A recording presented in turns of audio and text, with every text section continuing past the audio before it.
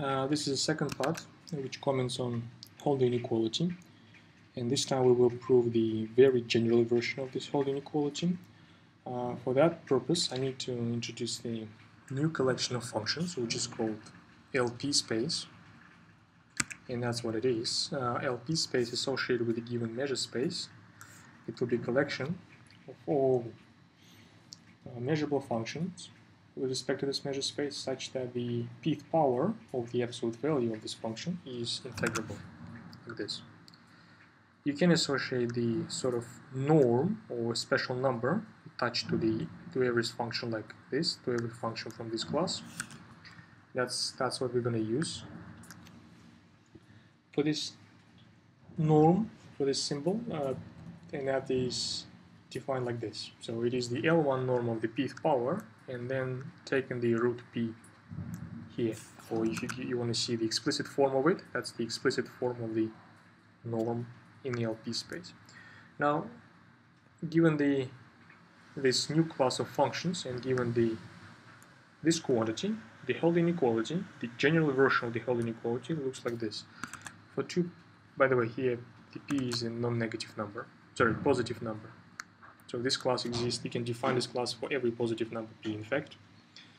And it's, it's a simple observation, if p is 1, then the LP space defined like that will coincide with the just class of measurable functions. Now, we now choose two positive numbers p and q such that they connected by this relation. In fact, if you have two positive numbers which are connected by this relation, they inevitably will be bigger than 1 straight away, because because if the if for instance q positive means that this fraction is positive which means that this fraction must be less than 1 so the denominator might be should be larger than 1 now we fix two functions one of them from LP and the other one from LQ P and Q are connected like this. Now the Holder inequality now looks like so. Um, yeah you can recognize in fact the Holder inequality I proved in my previous comments if you allow p here be exactly 1. When p here exactly 1, this fraction must be 0 and informally speaking to make this 0 you have to assign q here infinity and then you will have p1 and q infinity and that will be the version of the Holder inequality we proved earlier. This is just an informal consideration which includes that that inequality we proved earlier in my previous comments into this general scheme. You cannot you cannot use the proof which I'm going to present for this inequality for p and q numbers to prove that that to, to, to prove the inequality with the infinity here and 1 here. The, you have to prove it the way we proved it in my earlier comments, in the comments which preceded these ones. Now, after that out of the way, let's just try to prove that.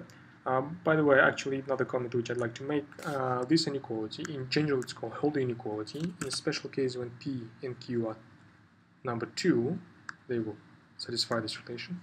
This will call this, is called the Cauchy-Schwarz inequality. Right. Uh, I will prove this. There's a very nice simple elementary proof for this result, and it's based on the following observation, which I call lemma uh, in lemma says that you always have the inequality like this between two non-negative numbers a and b. Uh, this is elementary lemma and the proof is just a simple uh, simple one-dimensional extremum problem.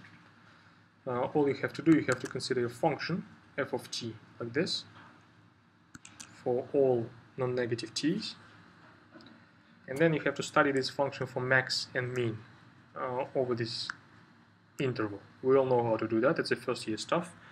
Uh, we have to check the values of the function in the endpoints, which are like this. Uh, and then we have to compute the derivative, which is like so. We have to see where my derivative is 0. Uh, this is easy thing.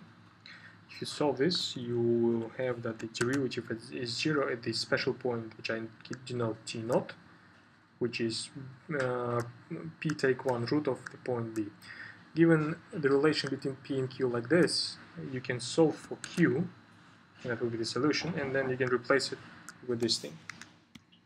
Now we can finish our extremum analysis. Uh, I have to compare the values of my function at endpoints uh, with the value at the point t naught.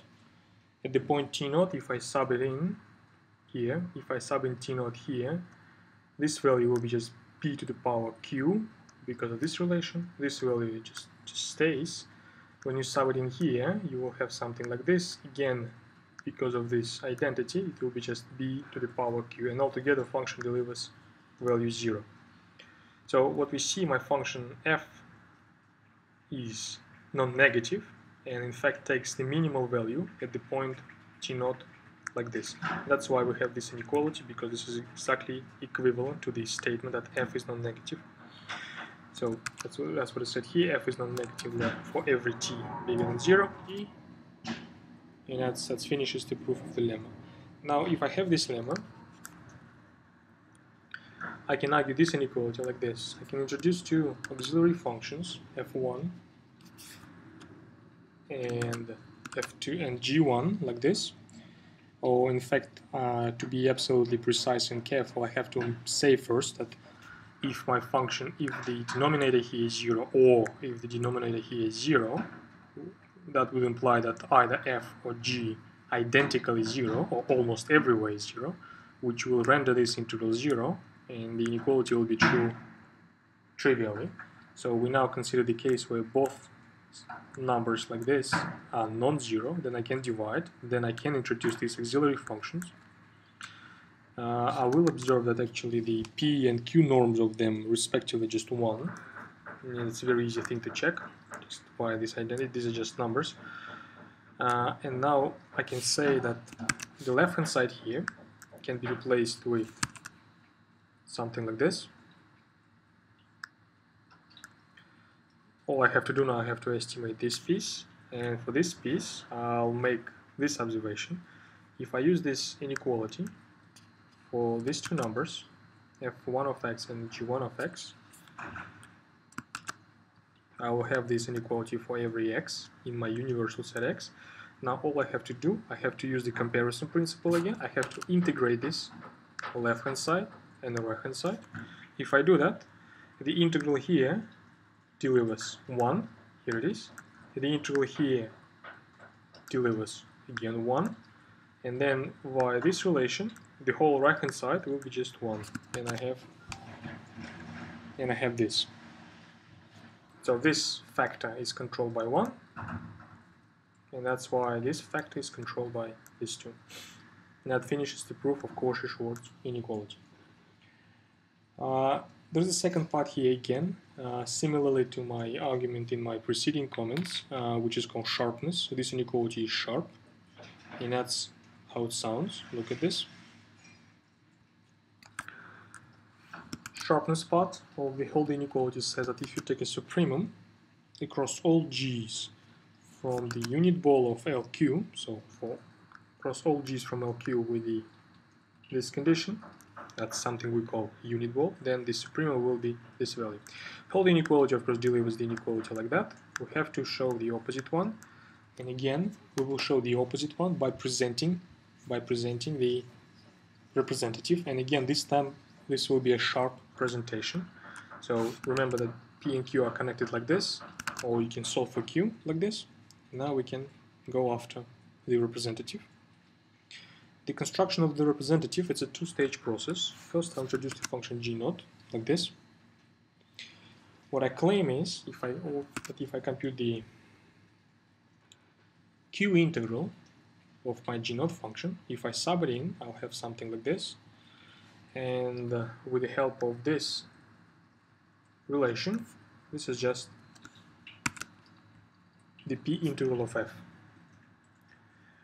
Uh, if you recall what's the definitions of the of this symbol and of this symbol, you can say you can rewrite this identity in a simpler terms like this.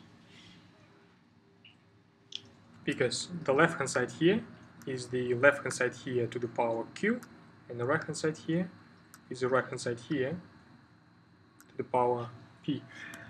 Uh, now the representative where this supremum will be attained is now given like this. It's a g naught which is divided by this value. Obviously for such g naught we have the relation like this. So this g, sorry, for such g, we have the relation like this. So this g is indeed in my unit ball. All I have to argue now, all I have to argue now, I have to argue the left hand side here delivers this value is the argument, is the left hand side. When I sub in my g function, I have something like this, right? Because that's the denominator of g, which is a number outside the integral. Uh, g naught times f delivers f to the power p.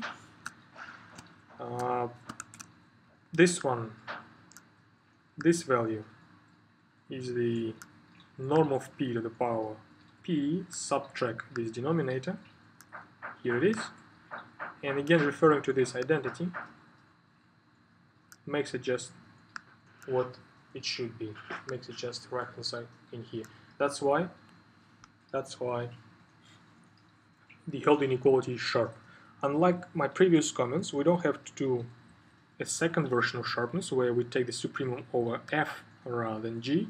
And the reason for that is that the Hölder inequality is symmetric thing. I mean, to swap g and f, all you have to do, you have to swap p and q over.